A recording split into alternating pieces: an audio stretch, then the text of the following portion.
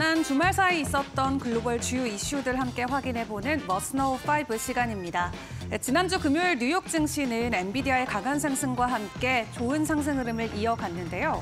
네, 다만 주말 사이에는 다시 한번 글로벌 국가들과 중국 간의 경쟁이 팽팽해지는 여러 가지 양상들이 포착이 됐습니다. 해당 이슈들 바로 확인을 해보시죠. 일단 지난주에 G7 회의가 있었죠. 네, 거기에서 미국이 주도해서 다른 서방 국가들과 함께 중국을 추가적으로 압박하자라는 이야기가 강하게 나오기도 했습니다. 중국과 함께 압박 협약을 하면서 연합전선을 구축한다라는 소식이 전해졌는데요. 예, 앞서서 미국은 이미 중국 전기차에 대해서 100%까지 관세를 인상한다라는 조치를 전하기도 했습니다. 여기에 다른 유럽 국가들까지 동참하면서 지금 대중 갈등이 어떻게 보면 글로벌 무역 전쟁으로까지도 번질 수 있다라는 우려감이 나오고 있습니다.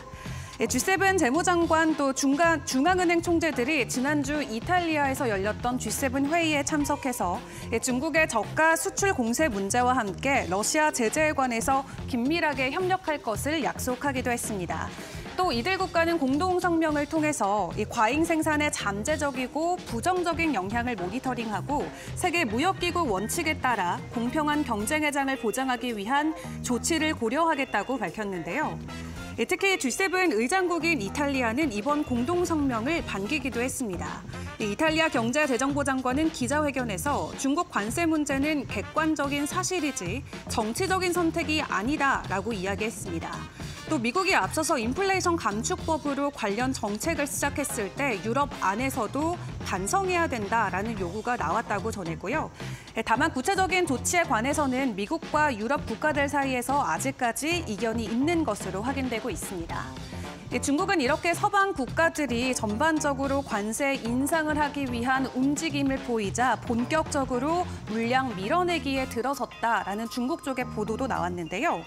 미국이 대중국 관세 인상을 현재 앞두고 있기 때문에 중국 안에서는 지금 빨리 수출을 진행하기 위해서 컨테이너선 부족 현상도 나타나고 있다고 합니다.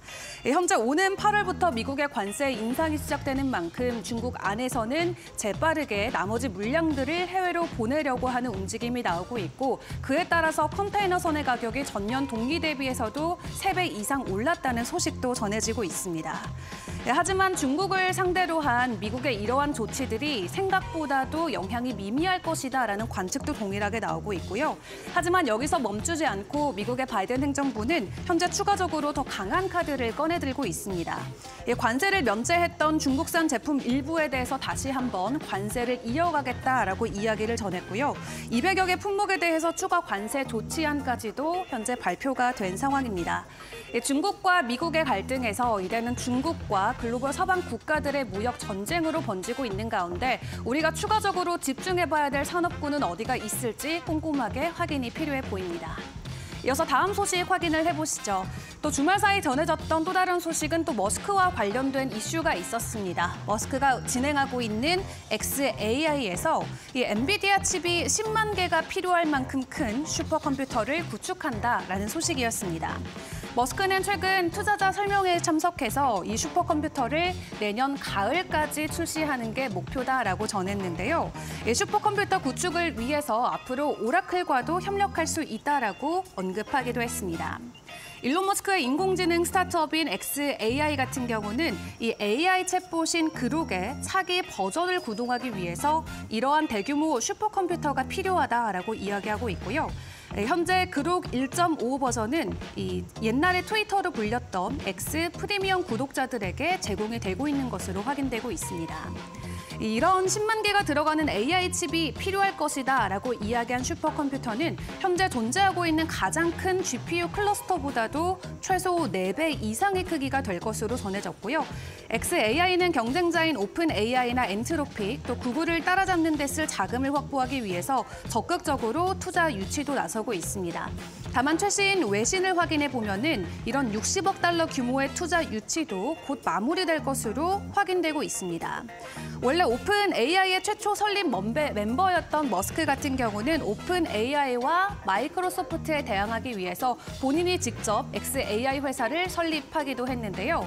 예, 최근 관련 회사들이 이 관련된 플랫폼과 서비스를 이 보다 고도화된 품질에 또 다시 한번 출시를 이어가고 있는데 XAI도 해당 반열에 이름을 올릴 수 있을지 이 부분도 함께 확인을 해보시죠.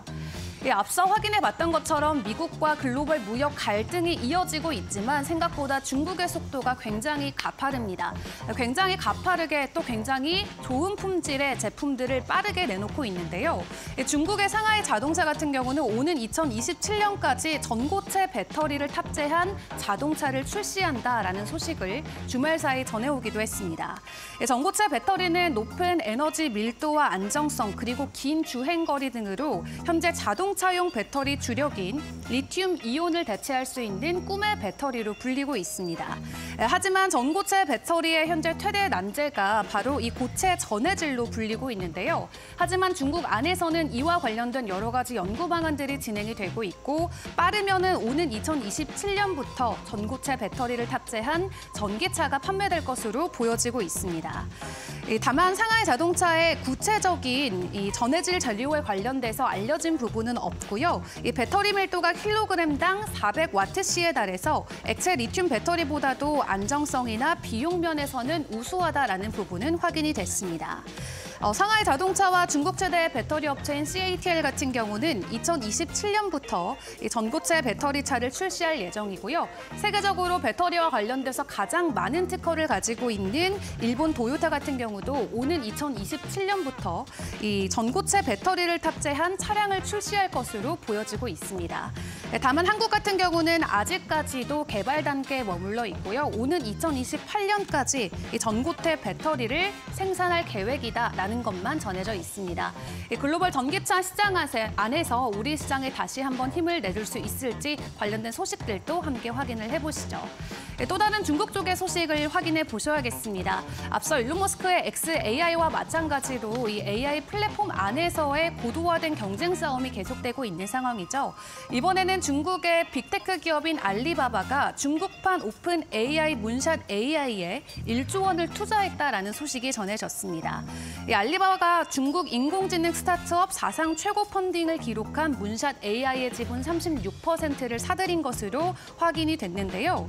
이 알리바바는 OpenAI가 지난 2022년 11월 ChatGPT를 선보인 이후에 생성형 AI 기술 개발을 위해서 힘을 쓰고 있고 이뿐만 아니라 중국의 인터넷 검색 대기업 바이두를 비롯해서 텐센트까지 중국의 대기업들도 너도 나도 할 것 없이 모두 자체적으로 이러한 AI 모델들을 구축 구축해 나가고 있는 상황입니다. 그 안에서도 알리바바의 움직임이 굉장히 두드러지고 있는데요. 바이천이나 지프 AI, 또 문샷 AI 등 AI 스타트업에 가장 많이 투자하고 있는 기업으로 알리바바를 확인해 보실 수 있겠습니다. 특히 문샷이 개발한 대형 언어 모델 기반의 챗봇 키미챗 같은 경우는 지난달에 방문자가 2억 명을 넘어선 것으로 확인되고 있고요. 바이두의 어니보까지도 추월한 것으로 확인되고 있습니다. 알리바바는 문샷과의 협력으로 오픈 AI와 마이크로소프트와 같은 이런 파트너십의 체계를 벤치마킹할 것으로 보여지고 있는데요. 예, 국가마다 AI 키우기에 전념 없는 한때 중국 안에서도 굉장히 공격적인 투자가 이어지고 있는 만큼 이 글로벌 AI 최강자의 자리에는 누가 오르게 될지 이 부분도 확인해 보시면 좋을 것 같습니다. 마지막으로 암호화폐 시장 상황도 함께 확인을 해보시죠. 예, 지난주 이더리움 현물 ETF 출시 소식 이후에 가파른 가격 상승을 보였던 암호화폐들은 주말 사이에도 좋은 가격 지지에 나서줬습니다. 그리고 또 여기에 추가적으로 트럼프 대통령이 암호화폐 기업과 산업과 관련돼서 나는 모든 부분을 지지하겠다라고 이야기를 전해오면서 추가적으로 시장에 대한 확신을 전해오기도 했는데요. 바이든 정부가 지난주에 이 이더리움 현물 ETF 승인에 나서자 트럼프 같은 경우는 다시 한번 바이든을 견제하기 위한 이러한 발언을 내놓은 것으로 확인되고 있습니다. 양측에서 지속적으로 암호화폐와 관련된 추가적인 우호적인 행태들이 나오면서 시장은 환호하고 있는 모습이고요. 추가적인 가격 상승까지도 우리가 기다려볼 수 있겠다라는 긍정적인 이야기도 나오고 있습니다.